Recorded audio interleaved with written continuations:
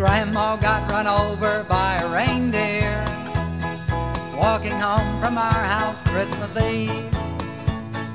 You can say there's no such thing as Santa, but as for me and Grandma,